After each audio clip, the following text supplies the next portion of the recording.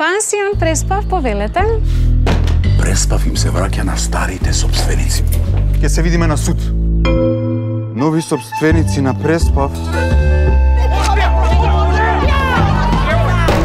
Зошто ние не направиме едно мало бебе? Општина Ресен ќе ви овозможи запознавање со новиот инспектор преку посета во вашиот објект.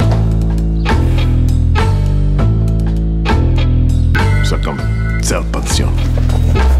Ти не знаш какав преварант е тај. Ќе видите цимерки со Исаура. Шо?